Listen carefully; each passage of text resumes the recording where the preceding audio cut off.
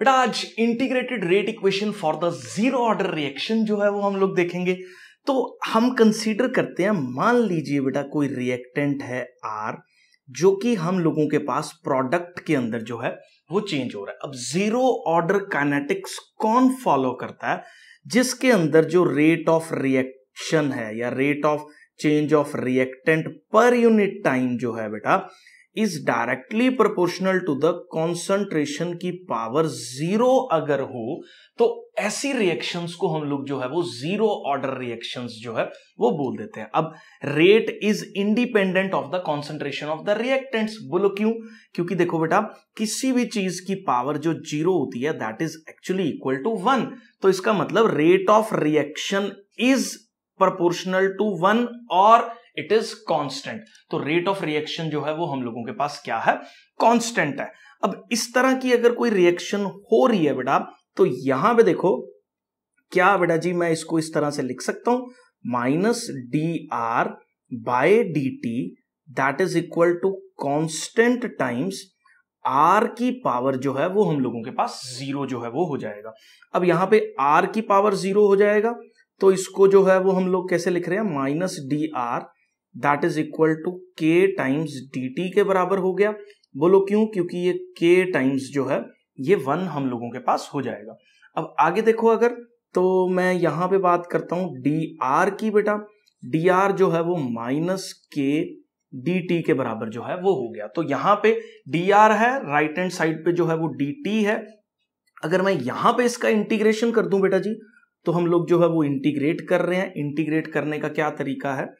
T is equal to zero पे मैंने ये मान लिया कि रिएक्टेंट की जो कॉन्सेंट्रेशन है वो आर नॉट है और time t is equal to T पे जो रिएक्टेंट्स की कॉन्सेंट्रेशन है वो हम लोगों के पास आर टी है।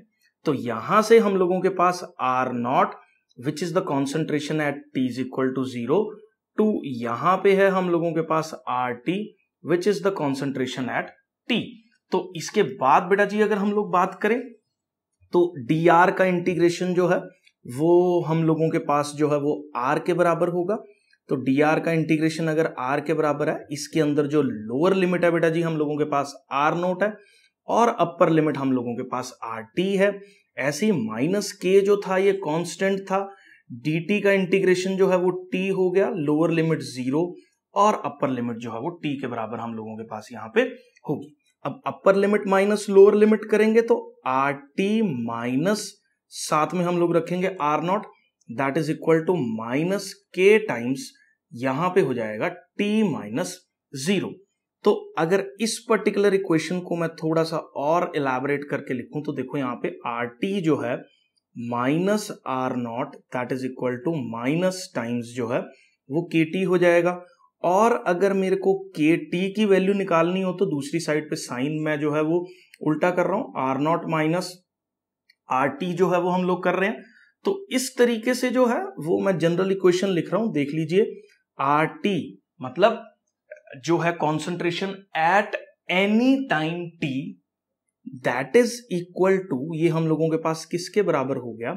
Minus of K T plus R naught के बराबर जो है, ये हम लोगों के पास हो गया। ये जो है, नेगेटिव का उधर जाके पॉजिटिव हो गया और ये इधर पॉजिटिव था, इस साइड पे जाके नेगेटिव हो गया तो हम लोगों के पास इस तरीके से जो है, ये इक्वेशन जो है, वो बन गई। अब आर टी क्या है?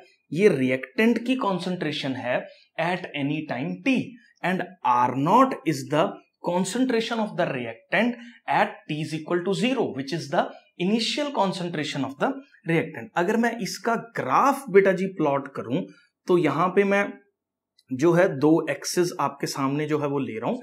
एक एक्सिस पे मैं टाइम को प्लॉट कर रहा हूँ और एक एक्सिस पे जो है वो मैं कॉन्सेंट्रेशन आर को प्लॉट कर रहा हूँ। इस पर्टिकुलर का अगर मैं ग्राफ देखूँ T is equal to zero value put कर दो यहाँ पे। टी की वैल्यू ज़ीरो पुट करोगे तो आर टी की वैल्यू किसके बराबर हो जाएगी? आर नॉट के बराबर। तो ये मेरे पास जो पॉइंट ले लिया that is actually R naught अब इसका जो कर्व है टाइम के साथ साथ रिएक्टेंट की कॉन्सेंट्रेशन डिक्रीज कर रही है and is directly proportional to the time की पावर वन तो क्योंकि यहाँ पे वन है तो ये एक स्ट्रेट लाइन की क्वेश्चन जो है, वो हम लोगों के पास फॉर्म होगी। इसको अगर मैं कंपेयर करके चलूँ, y is equal to M X plus C वाली इक्वेशन के साथ तो यहाँ पे m जिसको कि हम लोग बेटा जी स्लोप बोलते हैं उसकी वैल्यू हम लोगों के पास माइनस के होगी। तो यहाँ पे slope it is equal to minus K और c which is the constant जो है y इंटरसेप्ट ये हम लोगों के पास आर नॉट के बराबर जो है वो हो जाएगा। अब क्वेश्चन ये आता है कि कौन सी ऐसी रिएक्शंस हैं जो हम लोगों के पास इस तरह की इक्वेशंस को जो है वो फॉलो करती हैं। तो मैं ना एक चीज़ आपको बताता हूँ, जितनी भी रिएक्शंस के अंदर जो है वो मेटल्स को हम लोग जो है, वो क्या इस्तेमाल कर रहे हैं? एज ए कैटालिस्ट इस्तेमाल कर रहे हैं। इन पर्टिकुलर रिएक्शंस के अंदर हम लोगों के पास जो है, वो बेसिकली ज़ीरो ऑर्डर कानेटिक्स जो है, वो फॉलो हो रही है। तो ऐसी रिएक्शंस जिसके अंदर metals as a catalyst use हो रहे हैं और उनके सरफेस के ऊपर जो है वो रिएक्शन करवाई जा रही है। मतलब मेटल्स को एज ए सरफेस जो है वो यूज़ किया जा रहा है। जैसे फॉर एग्जांपल किसी भी गैस की आपको रिएक्शन करवानी हो। अब हम यूजुअली क्या करते हैं, एक कोई ऐसा मेटल चूज़ कर लेते हैं, जो उस पर्टिकुलर गैस को अपने सरफेस के ऊपर एड्सॉर्ब कर लेता है। जैसे फॉर एग्ज़ाम्पल अगर मैं बात करूँ तो हमारे पास एक मेटल है बेटा जी, जो कि पैलेडियम है, और इसकी बहुत अच्छी दोस्ती है किसके साथ? हाइड्रोजन के साथ।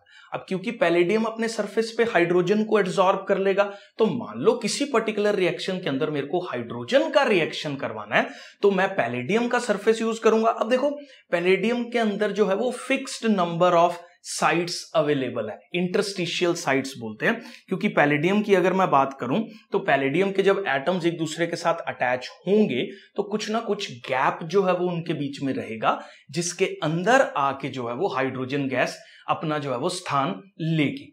अब यहाँ पे प्रॉब्लम क्या होती है? वो इंटरस्टिशियल साइट्स या फिक्स्ड नंबर ऑफ़ साइट्स जो है, वो एक कांस्टेंट है। अगर वो सारी साइट्स भरगी तो उसके बाद अगर मैं हाइड्रोजन का कॉन्सेंट्रेशन इंक्रीज कर दूँ तो भाई जगह ही नहीं है उसके अंदर। फिक्स्ड नंबर ऑफ़ कमरे हैं जहाँ पे हाइड्रोजन रह सकता है। एक बार जो है वो होटल पूरा भर गया पैलेडियम का, या सारे कमरे जो है वो भर गए उसके बाद अगर मैं हाइड्रोजन का कॉन्सेंट्रेशन इंक्रीज कर रहा हूँ तो कोई भी फ़र्क जो है वो रिएक्शन के ऊपर नहीं पड़ेगा। क्योंकि एट द सेम टाइम अगर मैं बात करूँ तो कितनी हाइड्रोजन कन्वर्ट हो रही है, वो एक फिक्स्ड नंबर में है। उसके फर्दर अगर मैं कॉन्सेंट्रेशन इंक्रीज कर रहा हूँ तो वो चेंज नहीं हो रही। इसका मतलब उस पर्टिकुलर टाइम पे मैं ऐसा बोल सकता हूँ कि हाइड्रोजन की कॉन्सेंट्रेशन को वेरी करने से रेट ऑफ़ रिएक्शन पे कोई भी डिफरेंस जो है वो ना आए। ऐसी पर्टिकुलर रिएक्शंस को हम लोग जो है, वो ज़ीरो ऑर्डर काइनेटिक्स वाली या ज़ीरो ऑर्डर रिएक्शंस जो है, वो बोल देते हैं। आई होप बेटा जी, ये जो है वो आपको क्लियर है।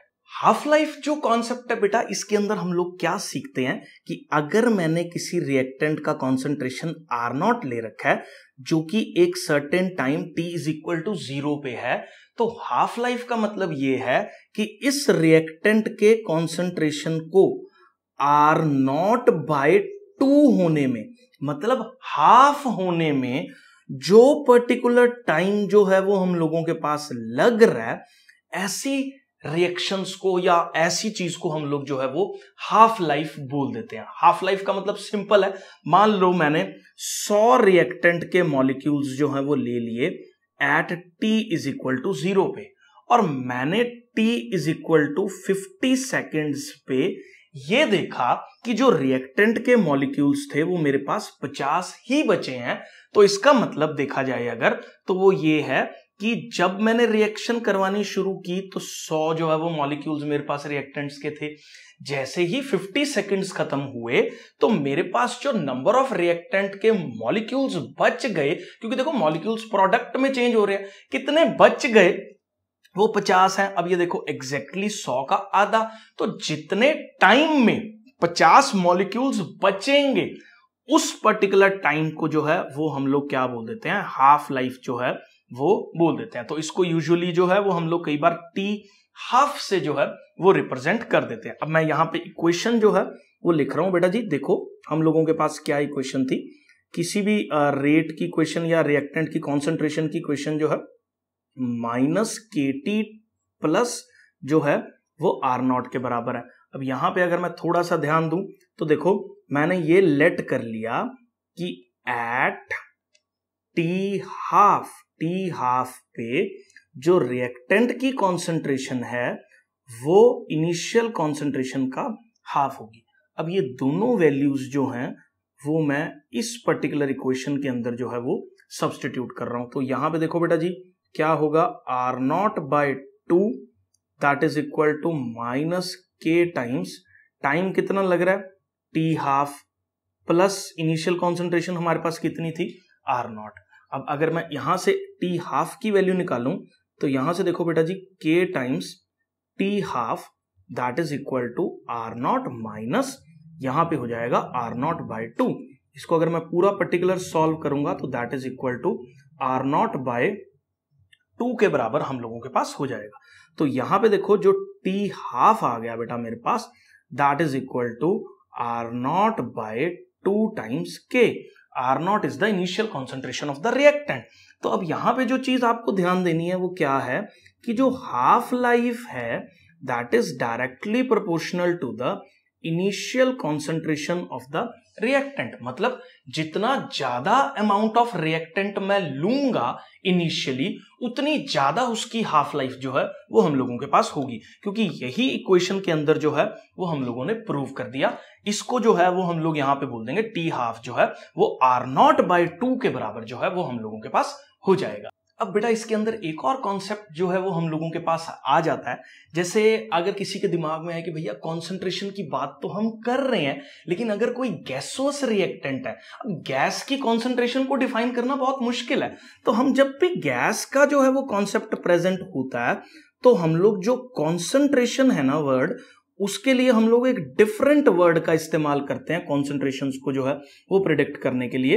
दैट पर्टिकुलर वर्ड इज़ ये हम लोगों के पास क्या है? प्रेशर है। जैसे, अगर मैं बात करूँ यहाँ पे रिएक्टेंट देखो जो है, वो किसके अंदर कन्वर्ट हो रहा है? प्रोडक्ट के अंदर जो है, वो कन्वर्ट हो रहा है। अब यहाँ पे हम लोगों ने जो इक्वेशन निकाली थी R T that is equal to minus K times T plus किसके बराबर था? आर नॉट के बराबर था। अब यहाँ पे जो आपको चीज़ ध्यान देनी है, वो क्या है कि अगर मेरे पास गैसोस रिएक्टेंट है तो मैं टर्म यूज़ करूँगा pressure at any time T is equal to minus K times T plus the initial pressure of the reaction तो ये टर्म जो है, वो मैं इसके अंदर जो है, वो इस्तेमाल करूँगा। आई होप बेटा जी ये जो है, वो क्लियर है। तो नेक्स्ट लेक्चर्स के अंदर जो है, वो हम लोग बाकी कॉन्सेप्ट्स देखने वाले हैं।